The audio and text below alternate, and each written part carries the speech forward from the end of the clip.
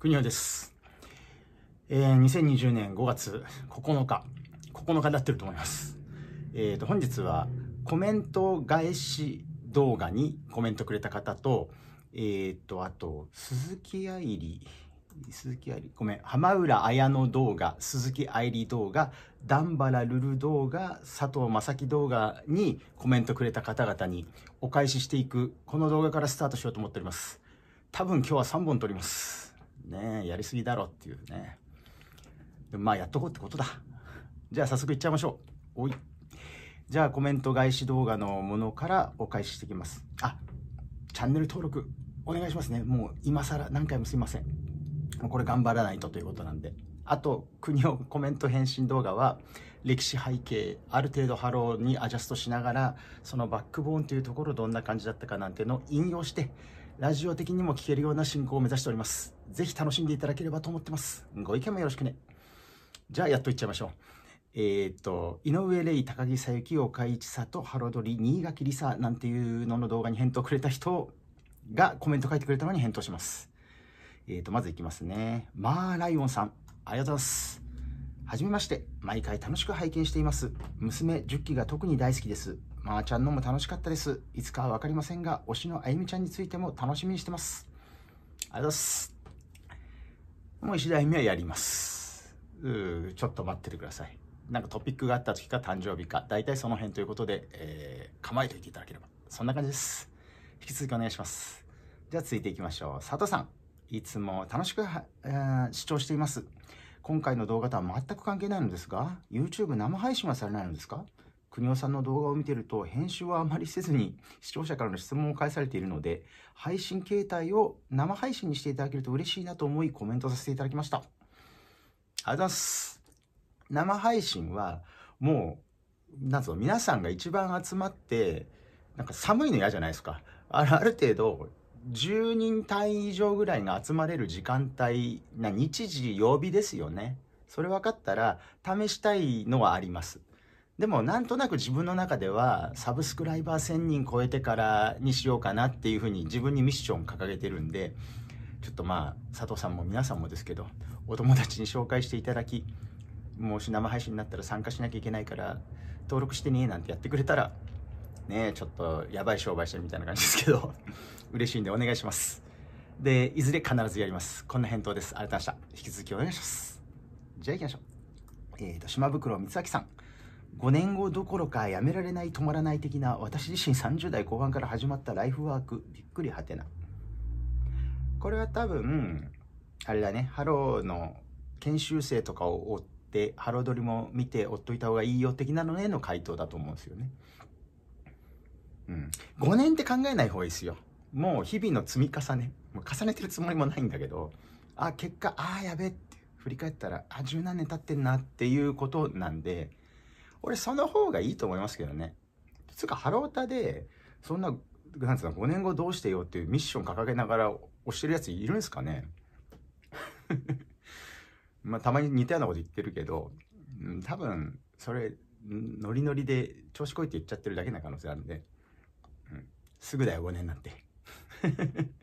こんな感じです。引き続きお願いします。あたす。じゃあ続いていきましょう。木場慶吾隊さん。えー、佐伯の話は変な動画の連中が何かあった時期と被るのかな？多分その影響だったと思われる。えー、なんだ、あと不倫を信じている人は結構多い。コメントしているのにはちょっと驚き。まるちゃんの一件、モデルらと合コンの後家に連れ込んで、しかし全く証拠がない写真含む、かっこ半年後写真出るがいつのか分からず過去閉じ全て記事のみあ合コンがあった日番組収録終わってその夜にブログ？もう上げているようですがじゃあどうなっているの？ちょうど記事に出る日に卒コンあり地上波 TV はスルーされる。かなり省略米ですが後の2人も点々点。これに似たようなものかな。個人的な見解です。間違っているかもしれないですけど。っていうことは、これは、あれですよね、おかいちゃんのことを言ってるんだと思うんですけど、おかいちゃんが不倫ではないんだぞと、うん、皆さん騙されんなっていう警告ですよね。でね、これね、えー、僕、これ僕なりの見解でお答えしますけど、不倫だったか不倫じゃなかったかはもうどうでもよくて、えっ、ー、と家族のある 旦那を奪い取ってるっていうところがおいやるなちさって感じなんですよ。ね、それで旦那も昔からファンでしたとか言ってて昔からファンだったらえいいの？っていう。なんか俺世代のモラルだとやってんなだいぶやってんなって感じなんですよ。双方ね。2人ともね。だから俺があの 旧かみさん側だったらあそそんな感じだったらもうもう大丈夫っす交渉とかも全然いいっすお金だけくださいってなると思います。なのでその辺が面白いなっていうことですよ。もう彼ら彼女ら世代の考え方ってそこで戦ってもしょうがないんで、ま、世代というより本人たちだよね。だからこの後どう出るのかっていう未来の方でなんかうまくこう融合していけばいいのかなって思って見てるってことです。ね。ではそそすいませんちょっとせっかく訂正してくれたのに。ね。俺でもそれでもあのおかえちゃん好きです。じゃあこの動画にはコメント返しこんな感じで。じゃあ次のいきますね。えっ、ー、とね、浜浦綾の、これ浜ちゃんバースデーの時にあげたのに、あ最近コメントしてくれた方にお返しします。えっ、ー、と、トラッキー2123、ありがとうございます。一回危ない業者と繋がりましたね。オタが真剣に止めましたけど、アップフロントに戻る必要はないけど、きちんとした事務所は紹介してもらえればいいと思いますが、拳に解散に関しては、あ表に出ること表に出ている事情とは違うんでしょうね。オタはまあ真を知る必要はないと思いますがうん。これやっぱ危ないよね。あのツイッターでさ浜ちゃんが嬉しそうになんつうの洋服デザインできますみたいなね多分その件ですよね。あれ？あなんつうのあそこまで危なければみんなで危ないって言えるってことですよね。で、危ないと言われてる彼も、なんていうの今だから振り返ると、そんなにいろんなこと考えてないで浜ちゃん誘って浜ちゃん乗っちゃった系かなっていうような気がしますね。でもあれで勉強になれば双方いいんじゃないですかね。うん、で、拳解散の真相って、もうこれ、だから今5月でしょ？もう散々今年、まあ去年からですけど、散々議論したんですよ、僕ら。勝手に。で、最後結論としてなんつうの思っていること、まあ、今も思ってることですよは、まあ、メンバーが自分たち誰かの責任ってなると全員嫌だろうからまあこの辺落としどころってなって気持ちよく開催になってたらいいなって感じっすよね。責任とか所在、うん、そういうなんか言及する話じゃない気がしてます。ただ個人としてはもちろん多分浜ちゃんを好きな人からしたらそうなんだけど浜浦綾乃の20代のハロプロを見たかったっていうのはこれはもうありますよ。ここはねたらればじゃないですか全部。だって俺田口がいる拳見たいってずっとずっと思ってまだ今いたわけだから。ね。だからそれはもう受け入れましょう。こんな感じです。あと今未来があるからね。浜ちゃんまた応援していきましょうね。ありがとうございます。引き続きお願いします。じゃあ続いて鈴木愛理動画これも昨日かな？コメントくれたのでお返しします。これも誕生日の時に撮ってるやつで。ID 動画見てくれて嬉しいね。お読みします。えっ、ー、と、剣万次丸さん。自分は左右の卒業で唖然としている時になんとなく聞いた悲しきヘブンで震えたのを覚えています。そのまま千里推しになっちゃったんですが、かっこ笑い。笑わなくてもいい。でも当然、キュート全員大好きだし、すごいなって。CD より生の方が圧倒的で、えっ、ー、と、なんだこれ。杞憂な存在って勝手に思ってます。笑い。本当アイドルってよりアーティストだなってびっくり。今度、キュートの解説や一曲一曲の解説なんかももらえたら嬉しいです。絵文字3連発。ありがとうございます。ねえ、左右から歌に入ったっていうのは、あれですね、もう、登るしかないやつですよね。最後もあれ、サイミンランドールめちゃくちゃいいですけどね。僕、あの、声を出さない歌手の中で一番左右が好きって言い張ってたんですけど、サイミンランドル行ったら、あれマイクで拾われてないのに左右歌ってんのよ。これ、あの、よく言うじゃないですか、あの、最前エリアのとこで。で、見てたら、あれ？あれ？最声出してるって気づいて、あ、でもマイクで取られてないって思って、すげえことすんなっていうふうに思ったのが、あの、去年でした。すいません、ちょっと脱線したね。で、悲しきヘブンのね、掛け合いっていうのは最高っすよね。で、キュートは、そういう生歌、生声アイドル層っていうのを一気に使いましたよね。振り返ってみれば、愛国、愛、アイドル戦国時代と言われたきっかけの真っ只中に2010年代最初いたのはスマイレージだったと思うんですけど、なんかそういうごちゃごちゃ感、ざわざわ感を全部キュートで一周したっていうような、僕そういうイメージですね。で、みんな見たら、ちょっと、ちょっとレベル違うなっていう。昔当時ですか？2011年12年ぐらいの時にももクロ好きだった子たちがキュートに流れてきたっていうのを見た時にものすごくあ気づかれたバレたなっていうのを思いましたね。まあももクロもすごかったですけどね。彼女らトークの間がいいからコンサートをもう制してる。でキュートはそこはある程度個性で雑だったんだけどそれが良かったんだろうね。で歌はダンスはって見たらあーってうならせる。そういう感じですよね。わかります。ね。でキュートの解説とかそういうのはもう近々でまたやりますよ。6月がやってまいりますから。その前にまた誰か何かあったらということでお許しいただければと思います。引き続きお付き合いお願いします。ありがとうございます。じゃあ続いていきましょう。えっ、ー、とねダンバラルルちゃん。これバースデー祝いの動画だね。ここもたくさんコメントくれて嬉しいです。ご紹介していきます。高久坂口さんいつもありがとうございます。ダンバラさんお誕生日おめでとうございます。ビビナイのそこのパートはめちゃくちゃわかります。ダンバラさんの可愛さが、えー、開眼した素晴らしいパートでした。さすが、うん、あの特に歌唱力でドンってわけじゃないんだけど加工されてても声の鳴りがわかるしなんかルルにあの役割をやらせているタイミングそしてあの曲っていうのが僕は価値があると思った、僕実は周りみんな評価してしてないわけじゃないけど高くないけどビビットミッドナイト超好きなんで嬉しいっす。引き続きお願いします。じゃあ続いてマル・マーガレット深淵隊のトシさん。ありがとうございます。5人ジュースジュースとネクストユーが大好きだった僕ですがフィエスタフィエスタのあの第一声え目だけで納得せざるを得ませんでした。新メンバー加入反対派の中には僕と同じようにあれで納得させられた人もたくさんいたと思います。ねこれは未だに続く議論ですよ。ジュース5人の時で終わったっていう人。5人ジュース論ね。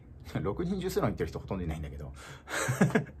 だけどこのネクスト U の頃ね、どうだったかって言ったら、やっぱ2016年ですよね。16年ってジュースジュースにとってはもう、なんていうかな、2016年だけ見てても感動できるじゃないですか。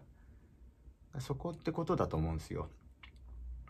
でも、もういきなり2017年で、ダンバラ、ヤナミ入れてね。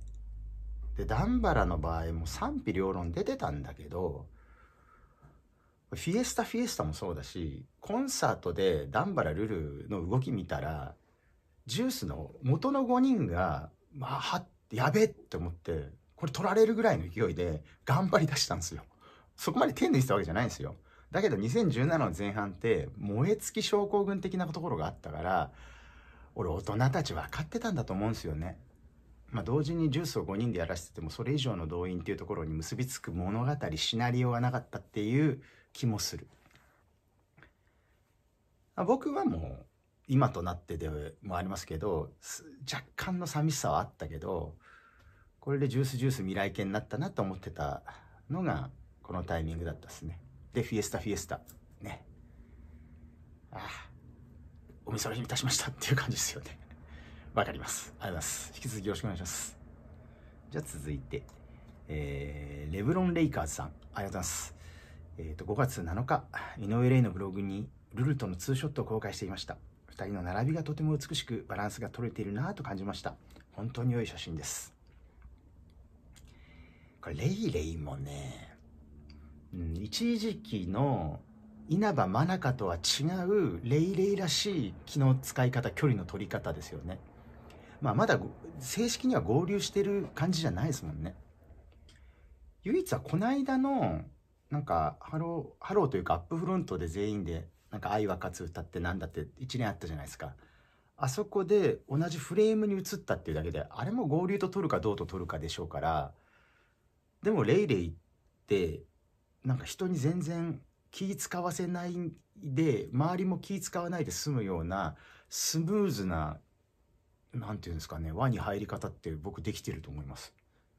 うんあれだけ、自分タイプなんて歌ってねレレイ動画では大量に恥ずかしいこと喋ってるんですけど。だけどねああいうところですよ。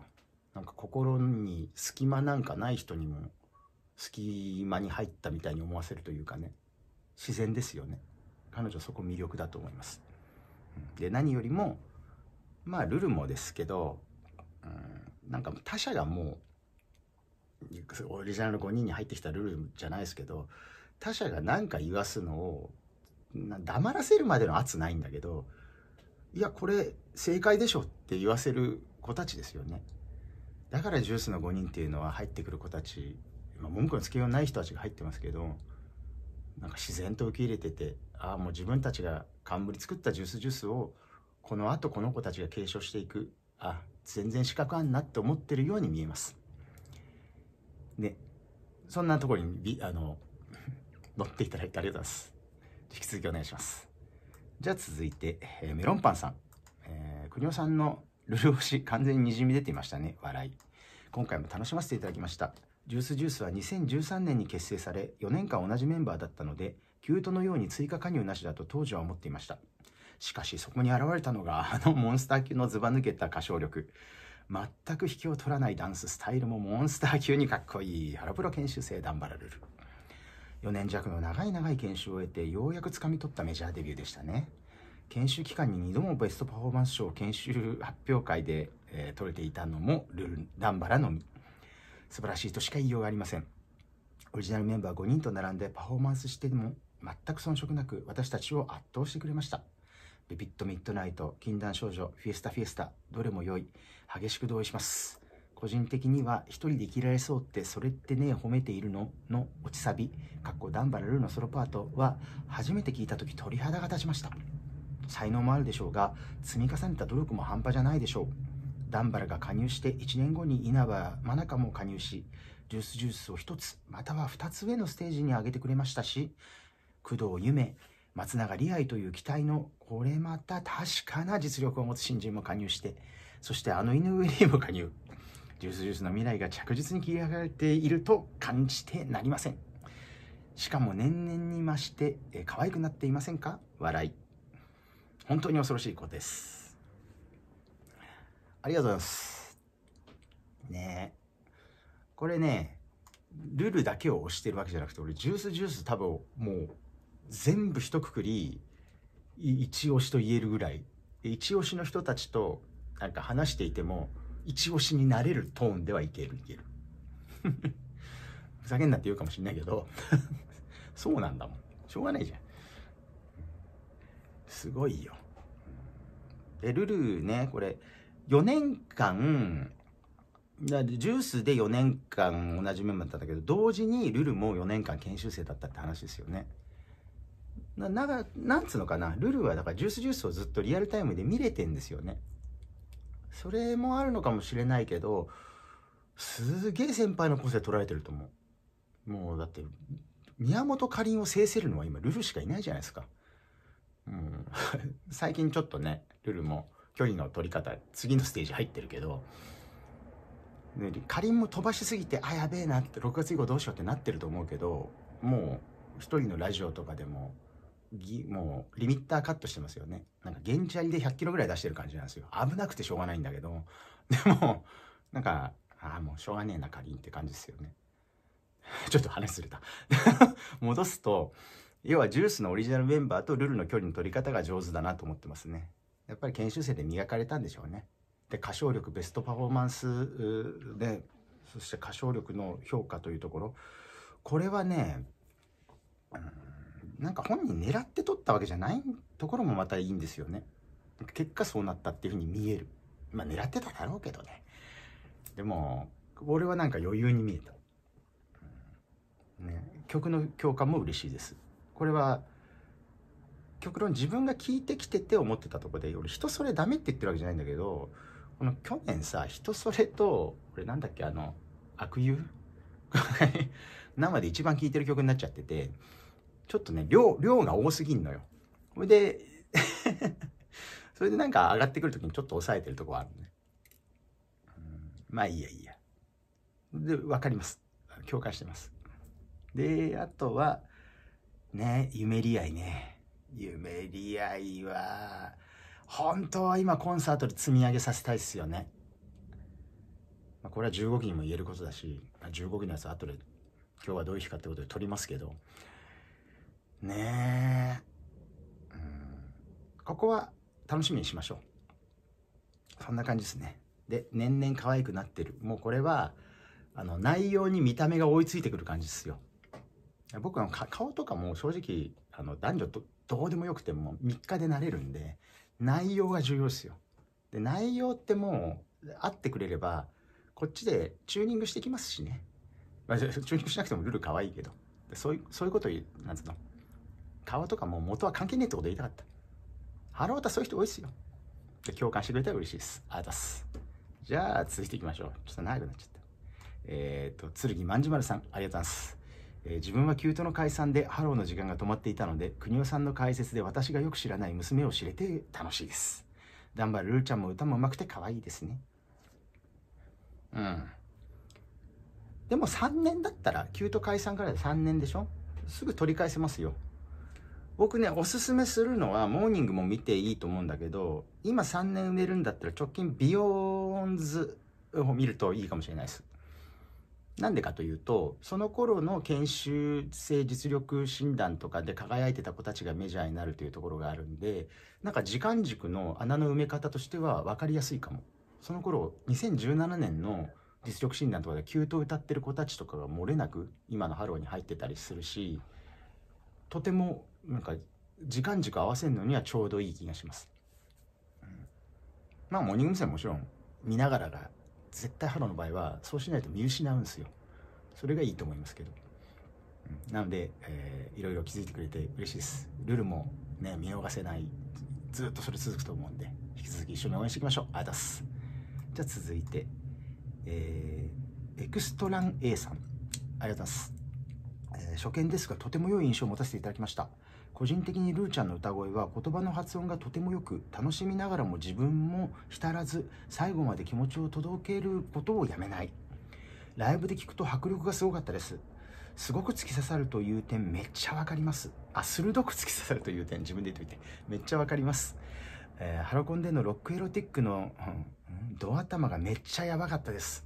個人的にハロプロの歌は聴いているだけで口ずさむようなことはなかったのですが、初めて口ずさんだのは生まれたてのベイビーラブのルーちゃんパートのブギウギベイビーでした。これからもあの歌声がずっと、あの歌声をずっと聴いていきたいですね。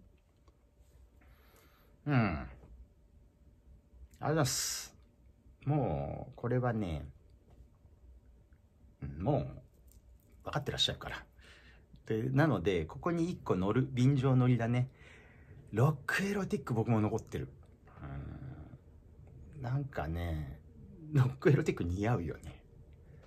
で、エロじゃないんだけど、ルルって、あの、ルルに流れてるものが、でも結果エロ層になんかハマってる エロ層に届いてんだよね。エロ層って変な言い方だけど、誰かがなんかもっといい言い方して、あ、次ので表現するけど、あの、ちゃんとね、なんつうの？仕事ができる、これ言い方まずいな。仕事になるエロそうってバカだね、今の表現。でも、なんか言いたいことそういうことだと思うんだよ。うん。本人がやりたいやりたくないは別だよ。うん、そういうことだよ。そう、最近あれだよ。俺、マドンナ、マドンナじゃねえや。マリリン・モンローの昔のことを喋っている映画みたいの見て、マリリン・モンローなんかはエロ層に当たるように、まあ本人もなかなかだったってなるんだけど、やっていったんだろうけど、あれが要は女性のエロ層の表現する中でのエンターテインメントのルーツなんですよね。だからそれを見て何か表現として受け取っていくっていうのは面白いかもしれない。立ち方とかね、ウォーキングとかいろんなところに男性ファンをグッと掴むものを研究し尽くされてるのがマリリン・モンローだったりする。そんなことをちょっと なんでこんな話を思いついたかわかんないけど、思いつきました。ありがとうございます。引き続きお付き合いお願いします。じゃあ、続いていきましょう。えー、っと、ごめんなさいね。はい。えー、あし、明日、おやすみさん。あとす。今年になってジュースを知りました。人それの宮本さんだと問いかけてきている感じ。ダンバラバージョンは問い詰められているようなので、M 体質な自分は好きになりました。ここ、ここ、これだ。ね。そう、ダンバラの何もしなくてもにじみ出る S 感ですよね。うん、シャドウ感。ね。丸軌道的なね。わかんないね、これね。うん。佐渡伯爵のなんとかみたいなのあんですよ。あれ面白いけどねフラ。フランス文学とか好きな人だったら、そこの登場人物にルールを当ててくっつったら面白いかも。そこまでしなくていいか。余計なこと言った。ね。そんなこと思いました。でも SM 論でね、ハロメンとか答え、あ例えられたり、ジュースなんかそういうふうにしていく人、昔から多いですよ。そんな気持ちです。ね。引き続き。あ、宮本のね、問いかけ。うん、うんこれ気づいてるのはお目が高いですよ。かりんは歌唱面アイドルチックサイボーグとかいう人いるけどあの子言葉の意味すごく噛み砕いて歌ってるんでこれをお気づきってことはお目が高いです。ジュースジュースいくらでも深掘りしていきましょう。引き続きよろしくお願いします。ありがとうございます。じゃあ続いてアンドゥ67かな。ね。これアンドゥはフランス語だね。なんで345が抜けたのかわかんないけど。余計なこと言った、えー、後ろのマフラータオル自分もルルちゃん初バースデーイベで有志にいただきました。あのルルル動画の時にここにまだあるな。あるある、うん、出すのしょうがないけど。これね多分俺配るの手伝ってたよ、うん、あれ一口俺金出したよ多分。なんか一口だけど。あれ作ってる人がもう、うん、何十万使ったとかこれ言わなくていいか。言ってたからあもう出します出します。何十万は出さないけどでもあれ全員分だしもうだジュースファミリーね粋ですよもう何十万出して続いてたからその時の推しの人が来なくてもいやもうこれはやらないとダメなやつって言ってね男気ですよねもう僕尊敬してますからね見てたらなんか、うん、恥ずかしいからカットだ つう感じです。ありがとうございます。引き続き一緒に応援していきましょう。で、ZX40 ライダーさん。えー、ルルのフィエスタフィエスタをハロコン、かっこオリックス劇場のライブ音源を聞いて、3ヶ月後の JJ デイ大阪に初参戦していました。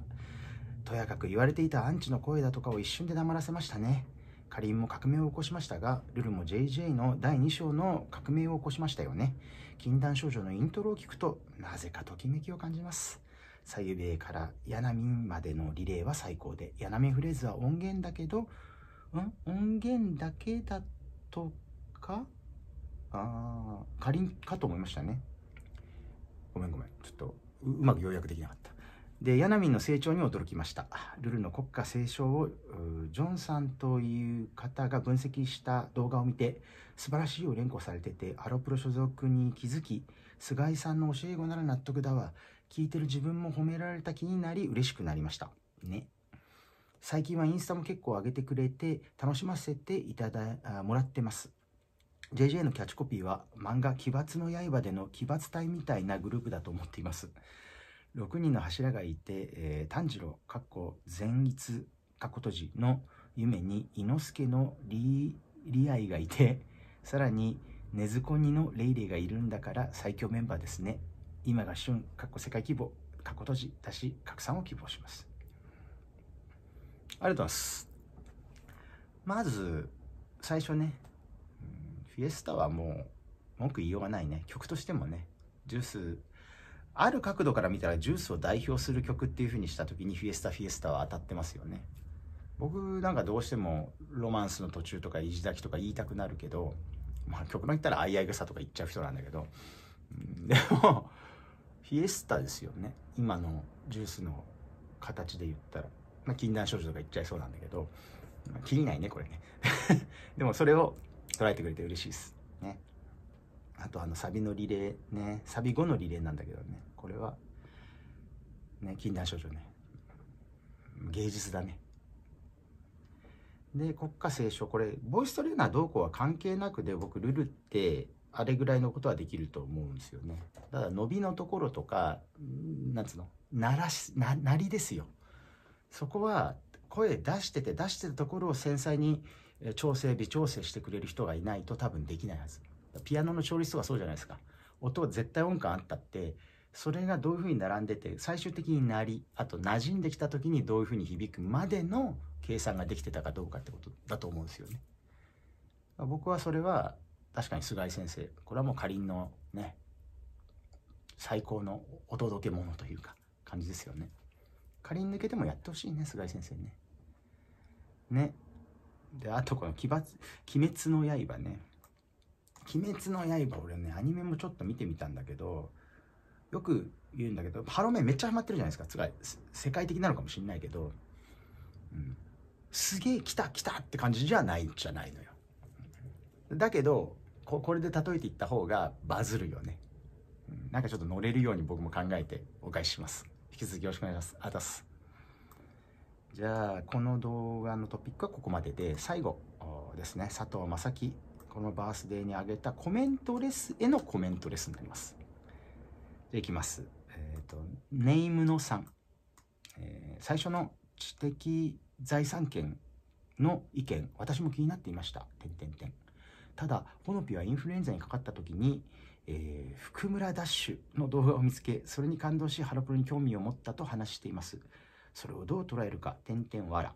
かっこ YouTube の動画で沼にはまった人は少なくないはず。私も含めかっこ閉じ国尾さんは URL を貼らずにかっこ気になったら探してみてください。かっこ閉じに留めておいてもいいのかも。はてうん。ありがとうございます。これねえーちょっと僕はもう実は答え出てて、貼ってもいいと思ってんのよ。だけど、なんか変に言われて、その、なんつうの、言う方も気分悪いじゃないですか。で、僕はそんなに気分悪いってんじゃなくて、あ、こういう見方あんだなっていう情報収集できてる感じなんですね。で、その子に何が正義とかどうだっていうことじゃないと思うんですよ。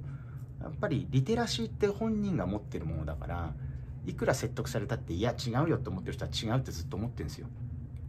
ねだけどこれうん。僕ここの辺のゾーンでいいと思う。でどうしても見せたいのだけなんか選ぼうかなって言ってヒントだけ喋っとけば別にそれ取りゃ出てくる出てきちゃうやつじゃないですか。ね。なんか自分だと一つ作業をカットされてると嬉しいからっていうことなんだよね。まあちょっとこれ探り合いにしましょう、えー、ご意見ありがとうございます。じゃあ続いて、えー、島袋光明さん、えー、マーチャンイコールフェルマーの最終定理笑い。えー、娘コンはツアー中は12回入るが福ちゃんとチェルをガン見する気でいるがなぜかまーちゃん見てる私。うん。うん。これねどうどう捉えるかだよ。でまー、ちゃんはまー、ちゃんがいい時はまーちゃんに目いくんだけどまー、ちゃんが悪い時はなんかポイント下げてもしょうがねえってもあるしあとちゃんと目立たないようになんかやってんだよね。ところが1曲に1回ぐらいパッと気づかさるような動きしてたりするからそんなこう恐ろしいんですよ。野球に例えたけどスイングの時に前の動画でねスイングの時に3球見逃し三振なんだけど1個すっげえテンポタイミングバッチリで振らねえみたいなことをやるんだよね。そうするとピッチャーだったらどう思うかっつったら3球見逃し三振なんだけど1球やばいのあったなって思って次の打席に緊張感その無警戒じゃなく持続しちゃう感じなんですよ。それぐらいなんかまーちゃんって何もしてない時にもう圧かけてんだよね。不思議そこが。本人多分かけてる気ないんだよそれで。声 そんなこと思いました。じゃあ続いていきましょう、えー、パズネコさん。最近ハロータの方の動画を見るのにハマってましてその中でも国尾さんの動画に一番ハマってます。業界人？かどうかは分かりませんが我々一般人が知り得ない情報やメンバー楽曲に対しての深い考察をいつも楽しませてもらってます。これからも頑張ってください。あと YouTuber にとって更新頻度は正義ですね。ついつい見てしまいます。笑い。あざす。ねこれはねハロータ動画ちょいちょいは見てんだけどうん。はま確かにハマってるかどうかって言ったらそんなでもないかもな。いやでも勉強になってます。ね。うん、でこれはね業界僕ねあの例え難しくなく一番簡単に説明すると音楽で仕事をずっとしてるからあとクラブとかバーとか水商売系もだよね。だからそこで行くとあのそなんつのこれ分かりやすいかな。そこので出会った人たちとそこで仕事するときはそこの業界で仕事するんだよ。でそうじゃないところでやるときは当然そうじゃない人と仕事するんだよ。でどこどこ所属とか誰々の事務所っていう人間じゃないからケースバイケースって話。外国でもやるし国内でもやるし勝手に一人でもやるしっていうね。わかるかな？ねそういう人もいるのよ。僕らの知り合いには結構そういう人いるからあんまり不思議と思ってないんだけど確かに分かんない人には分かりにくいかもしれないですね。なんか考えておきます。じゃあ続いてはああとこれだ。YouTuber 更新頻度ね。これね毎日更新やらないとサブスクライバー伸びない説をなんか YouTube 僕始めた時に言ってる人がいて始め方みたいに検索して。でそんなに僕苦痛じゃないからやってみようかなと思った、うん、そこが届いてくれただったら嬉しいし楽しんでくれてるんだったら引き続きよろしくお願いします。そんな感じかな。ありがとうございます。じゃあ続いて。あーさん。前も書いてくれたかな。えー、ハロプロ語る YouTuber の方々の中でダントツ面白いです。これからも動画楽しみにしています。おごり高ぶらず精進します。ありがとうございます。引き続きよろしくお願いします。嬉しいですね。じゃあ続いて、アリス側。もうこれ、ミノルオでいいや。いいやとかごめん。アリス側さん、ありがとうございます。えー、事務所も YouTube 上に動画が上がっていることを認識しているし、かっこ BS なので生中継されたようなテレビ局側が権利を持っているライブ映像は比較的消されやすいことから、かっこ閉じ。問題があると認識した動画はちゃんと削除しているみたいなので、今残っている動画のリンクを貼ること自体は問題ないのかなと思います。オノピをはじめ動画からハローに興味を持つ人はかなりいて、事務所もフェアユースとして捉えていることは間違いないと思います。うん、この件ね、みんなありがとうございますね。うん。俺実はね、だから知ってんのよ、これ話して。うん。これはだから海外戦略っていう時にどう考えてるかっていうのを前の動画でも言ってるけど南米のさツアーの時のスタッフとかっていうのは事前になんか俺に相談くれたのよでいろんな情報こっちも渡したのさでそんな中でまあいわゆる多分これグレーなんだけどグレーゾーンってこうそういう認識でっていうところを共有したのだけどこれ突っ込んでくる人のリテラシーにはそれ関係ないと思うのさ。俺がいくらそしてアリス川さんも含めて皆さんがいくら言ったっていや自分の正義の中ではそれは違うって思っててでそれもそれでいいのよ。だからこれって聞きながら様子見ながら確率高いとこを探していこうかななんて思ってるのが今の感じです。また引き続きご意見お願いします。ありがとうございます。じゃあ続いて剣万次丸さん、うん、本当国尾さんの動画面白い。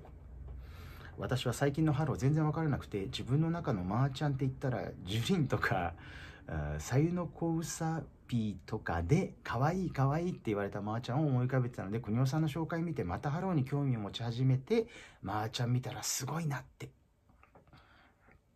うん。もうこれが一番嬉しいかも。ちょっと距離持ってたり離れたりしてた人でまあ当たり前だけど僕が魅力ないと思ってたら魅力あるって言わないから。でそれで共有できる扉開けたんだったらこういうお互いのやり取りも広がりますよね。だってその間にまた違うものを見てたり聞いてたりした人の価値観が隣にいる中でディスカッションできるわけじゃないですか。だから僕としてはとても嬉しい結果になってるなと思います。引き続きぜひお付き合いいただければと思いますんでお願いいたします。ね。まあ、まー、あ、ちゃんは今見といて間違いないよ。ってな感じでじゃあこの動画のラストの回答になります。でこれ今を撮ってるの3時前ぐらいなんだけどこのまでにあの書いてくれたやつは次の回に回答しますじゃあ行きましょういつもお世話になっておりますかっこ Twitter の DM 返信できなくてすみません、えー、知的財産権についての補足ですがリンク動画の説明欄に YouTube に使用を許可しているライセンス所持者の項目があり、アップフロントの名前があります。ググった情報だとこの項目は権利者が使用を許可しているときに、えー、寄付されるみたいなので特に問題ないかと。収益の一部が権利者に入るようですしかっこ多分失礼しました。ねみほんとみんなありがとう。ん、さっきの回答とかぶるけどうっすら知ってんのさ。でもうん。ねでもこれ僕知らなかったからあの勉強になった。今ね世界戦略世界基準っていうところで YouTube って動き自体は一昨年ぐらいからかなりなんていうフェーズが変わったなと思ってて僕なんかは今年からやろうと思ってたんだけどもう調べすぎたりして1ヶ月遅れちゃって2月のスタートになったんだけどまあでも3ヶ月ね。3ヶ月ほぼほぼ毎日更新してるからなんか生活の一つになってますよ。ねこういう形を作っていくっていうのはまあ、テレワークリモートワークになってる今っていうのとたまたま重なっちゃったのかもしれないんだけど本当在宅期間中に予想以上に深掘りしてるような印象ですし皆さんもそういうのがあってこういう期間っていうのをうまくつなげられてるんであったら嬉しいなとは思ってます。ね、じゃあこのコメント動画ね頑張りますんで引き続きありがとうあ引き続きよろしくお願いしますとありがとうってことですね。あの書かれた皆さんありがとうございました。で今の話締めの言葉みたいなのねなってたから続けて、えー、ひとまず今日のこの動画はくくりますけども僕ね在宅テレワーク系っていうのぶっちゃけあの全然好きじゃないんですよ。あの外 なんでかというと外飲み歩いて経済っていうのを回すことによって音楽シーンっていうのは活性化しているのを多く経験してるんで僕はその中の一員であったりその場所を作るっていうことに喜びを感じてるタイプまあどうせ飲むなら部屋で飲むかって俺だズーム飲みとかみんなしてるとか言うけど俺まだ一回も参加したことないんですよ。なんでかっつったら家で飲むって言ったっててめえとせいぜいコンビニとの経済回してるだけじゃん。あんまり、うん、音楽業界にお金がどっか落ちてる感じがなんかいいんだよね。で音楽流れるところに基本的に飲みに行くっていうのは多いし。まあ居酒屋も行くからちょっと矛盾してくんだけど。ちょっと矛盾してきそうだな。でもどういう考え方かって言ったらそこに考え方あります。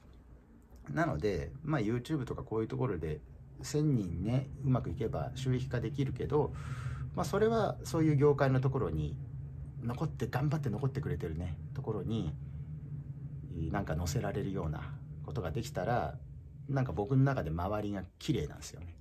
そんなの目指していきたいんで引き続きチャンネル登録お願いしながらあとお友達にも遠慮なくご紹介いただいて恥ずかしくない範囲に頑張りますんで、えー、お付き合いくださいということでございました。では今日土曜日ねまだ言った通りあと2本撮ります。なので楽しみにしててください。引き続きよろしくお願いします。じゃあ素敵なサタデーにしちゃいましょう。後ほど。